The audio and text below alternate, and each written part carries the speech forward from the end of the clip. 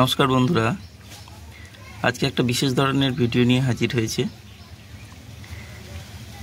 দেখতে পাচ্ছেন, একটা প্লাস্টিকের ডিব্বা, যার ঢাকনাটা আটা আছে। তার ভিতরে একটা গাছ দেখুন, রাখা রয়েছে। এবং সেই গাছটি অ্যাকচুয়ালি এটা একটা ওয়াটার লিলি একটা ওয়াটার লিলির বাল্ব এবং সেই বাল্বটা থেকে দেখুন স্প্রাউট করে গেছে গাছ এবং তা থেকে অসংখ্য শিকড় বেরিয়েছে।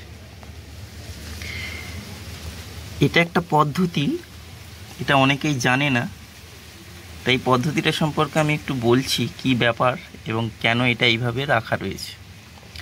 আসলে অস্ট্রেলিয়ান ভ্যারাইটি যেগুলো অসি ওয়াটার লিলি আছে, সেগুলো অনেক সময় কি হয়, শুধুমাত্র জলে ফ্লোট করে রাখলে তাদের স্প্রাউট করে না, সেগুলো স্প্রাউট করে না বা তাদের শিকড় বেরোয় না।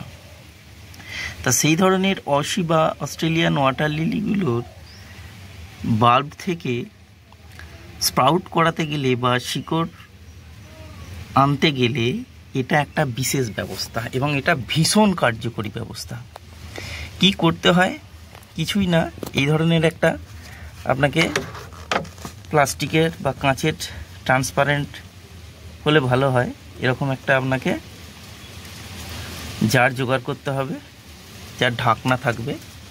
তা এই ধরনের জারের ভেতরে কিছুই নয় পরিষ্কার জল ভরবেন এবং যে বাল্বটা আপনি স্প্রাউট করাতে চাইছেন, সেই বাল্বটাকে ভালো করে পরিষ্কার জলে ধুয়ে এই এর মধ্যে রাখা, প্রায় প্রায় নাইনটি পারসেন্টের উপর জল দিয়ে এর মধ্যে রেখে দেবেন ওই বাল্বটাকে। দিয়ে চিপিটা ভালো করে, ঢাকনাটা ভালো করে এঁটে দেবেন। এঁটে বাড়ির মধ্যে অন্ধকার স্থানে এটাকে রেখে দেবেন। যেখানে লাইট খুব কম যাতায়াত করে, সেরকম একটা জায়গা আপনি এইভাবে ঢাকনা এঁটে রেখে দেবেন। আপনি যদি এইভাবে ঢাকনা এঁটে রেখে দেন, তাহলে আট থেকে দশ দিনের মধ্যেই এত সুন্দর স্প্রাউট করে যাবে এবং তারও কিছু দিনের মধ্যে এত সুন্দর শিকড় এসে যাবে যে আপনি ভাবতেই পারবেন না যে এটাও একটা সুন্দর পদ্ধতি। আর কিছুই করতে হবে না। মাঝে আপনি একবার খুলে দেখতে পারেন। যদি দেখেন যে শ্যাওলা অ্যাটাক করছে, তাহলে একবার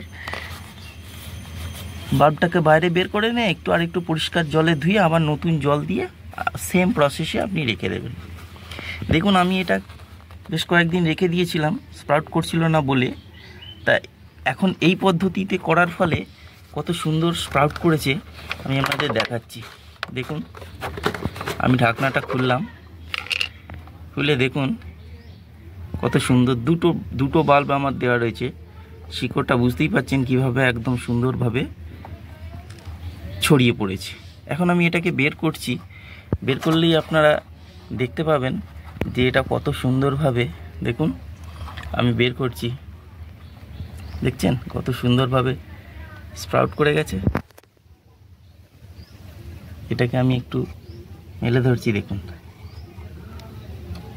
এটা এর বাল্ব বা কুণ্ড, যেটা এক সময় স্প্রাউট করছিল না, এখন একে এইভাবে এই পদ্ধতি অবলম্বন করার ফলে দেখুন সুন্দরভাবে কীভাবে গ্রোথ নিয়ে নিয়েছে। কীভাবে সুন্দর স্প্রাউট করে গেছে। এখন আমি এটাকে প্ল্যান্ট করে দেব। ঠিক আছে? এটা খুবই সুন্দরভাবে শিকড় এসে গেছে আমার আর একটা রয়েছে এর মধ্যেই। দেখুন ওটাও স্প্রাউট করবে আস্তে আস্তে। ভেতরে দেখুন জলে রাখা রয়েছে। তা সেটাও আস্তে আস্তে স্প্রাউট করবে। এটা আমার একটা বেট্টুলো। বেট্টুলোর বাল্ব এখন আমি এটাকে প্ল্যান্ট করে দেব। তার জন্য একটা যে ব্যবস্থা নিতে হয়, সেটা আমি নিয়েছি। দেখতে থাকুন। দেখুন, এটাও একটা বিট্টুলোর বাল্ব শুধুমাত্র দেখুন স্পাউট করেছে, একটা মাত্র পাতা উঠেছে। এটা কিন্তু প্ল্যান্ট করা যাবে না। এটাকে আপনি নিজে যদি কাদায় প্ল্যান্ট করে দেন, তাহলে কিন্তু এটা কি হবে? এই যে কচি পাতাটা উঠেছে, এটা নষ্ট হয়ে যাবে এবং এই বাল্বটা বাল্ব অবস্থাতেই মাটির মধ্যে রয়ে যাবে। সেই জন্য এটাকেও আপনাকে স্প্রাউট করাতে হবে। প্রথমে ওই পদ্ধতিতে, যে পদ্ধতিটা বললাম, সেই পদ্ধতিতে আপনাকে এটাও কিছুদিন যদি ওই জলের মধ্যে রেখে দেন, তাহলে এটা থেকে সুন্দর পাতা সঙ্গে সঙ্গে শিকড়ও আসবে এবং শিকড় এলে তবেই কিন্তু এটাকে আপনাকে প্ল্যান্ট করতে হবে। নচেত কিন্তু এটা আপনি প্ল্যান্ট করলেও এটা গাছ হবে না, এই বাল্ব অবস্থাতেই কাদার মধ্যে রয়ে যাবে। এখন আমি এটাকে জার্মিনেট করা বা স্প্রাউট করার যে পদ্ধতি রয়েছে, সেটা করতে দেব। ঠিক আছে? দেখুন, এখন আমি এই পটটাতে বিট্টুলোর ওই শিকড় বেরোনো বাল্বটাকে বসাবো। এই পটটা, পট ইন, পট পদ্ধতিতে দেখুন এই কাদাটা আমি রেডি করে রেখেছি। এটা কি করা রয়েছে কিছুই নয়। এই যে টাবটা দেখতে পাচ্ছেন অ্যাকচুয়ালি এটা একটা টব আর কি। এর শেষ স্তরে, একদম নিচের দিকে আমি দুই ইঞ্চির মতন পুরনো গোবর সার, তার সঙ্গে অল্প দু চামচের মতন বন মিল দিয়েছি। সেই বন মিল এবং গোবর সার মেশানো অংশটার ওপরে আমি কাদা পড়েছি। একদম প্লেন কাদা। বালি কম, সেই ধরনের কাদা আমি ভরে দিয়েছি, দেখুন। এবং সেটাকে জল দিয়ে ভিজিয়ে রেখে চটকে কাদা বানিয়ে নিয়েছি। এই মিডিয়া, এই মধ্যেই আমি কিন্তু ওই বিটুলোটা বসাবো। আর কিন্তু আলাদা করে কিচ্ছু এর মধ্যে আমি দিইনি।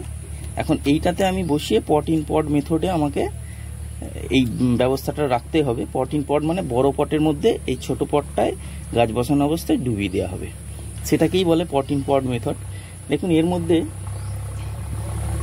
যে বিটুলোটা আমি দেখালাম, দেখুন, এটা শিকড় সহ বিটুলো এই বাল্বটাকে আমি এর মধ্যে বসিয়ে দেবো। সিম্পল প্রসেস, মাঝখানটায় আমি গর্ত করব একটু করে। এর মধ্যে হালকা করে হেলানো অবস্থায় আমি এটাকে বসিয়ে দিচ্ছি। বাল্ব এবং শিকড়গুলোই একমাত্র আমি কাদা চাপা দেব। বাকি কিন্তু মূল যে গ্রোয়িং টিপে অংশটা, যে যেখানটা গ্রো করছে, সেই জায়গাটা কিন্তু মাটির ওপরে থাকবে। সেটাকে চাপা দিয়ে দিলে কিন্তু গাছটা পচে যাবে। সেই জন্য একটু সাবধানে এটা কাজটা করতে হবে।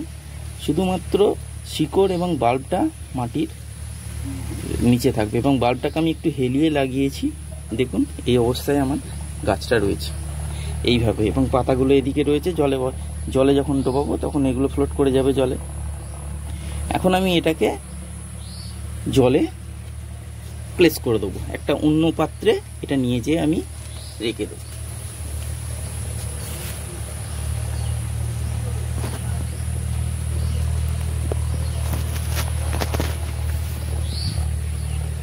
দেখুন কীভাবে এটাকে বসানো হয়েছে। এখন এটাকে আমি দেখুন, আগে থেকে একটা বালতি ঠিক করে রেখেছি। যেহেতু অশিসগুলোর ক্ষেত্রে ওয়াটার লেভেলটা একটু লম্বা দরকার, সেজন্য আমি এরকম একটা লম্বা ধরনের বালতি চুজ করেছি গামলার বদলে। তাই এই বালতিতে আমি আগে থেকে জল ভরে রেখেছি এবং সেই বালতির মধ্যে এটাকে আমি ডুবিয়ে দেবো। এই পটটাকে আমি সাবধানে তুলে ডুবিয়ে দেবো নিয়েছে দেখুন এই যে পটের মধ্যে বসানো অশিস ভ্যারাইটিটাকে আমি এখন এই বালতির মধ্যে ডুবিয়ে দিলাম। জাস্ট ডুবিয়ে দেব। আস্তে করে এর মধ্যে আমি প্লেস করে দিলাম। দিয়ে কি করছি? যে পাতাগুলো বেরিয়েছিল সেগুলো একটু চাড়িয়ে দিচ্ছি। এই জলের উপরে যাতে ফ্লোট করে থাকে, সুন্দরভাবে চাড়িয়ে এক জায়গায় জড়ো না হয়ে যায়। সেই জন্য এইগুলো এর মধ্যে আমি ভাসিয়ে দিলাম। ব্যাস, এই হয়ে গেল আমার পদ্ধতি। আমি একে এবার এইভাবে ছেড়ে দেবো। জলটা মেনটেন করব। অল টাইম জলটা যাতে ভর্তি থাকে, সেই চেষ্টা করব। আমি আর একটু জল বাড়িয়ে দেবো। দিলে, এটা রেখে দিলে কিছুদিন পরেই কিন্তু আস্তে আস্তে দেখছেন এই যে পাশের, এ দেখুন, এখানে একটা অশিস আমি আগে বসিয়েছি, তা এইভাবে কিন্তু সুন্দরভাবে পাতা মিলবে এবং কদিন পরেই কিন্তু এ থেকে বার্ড আসতে শুরু করে যাবে। তাহলে এই ছিল আমার আজকের ভিডিও, অশিসের ওপর। আশা করি ভালো লেগেছে। থ্যাংক ইউ ভালো থাকবেন।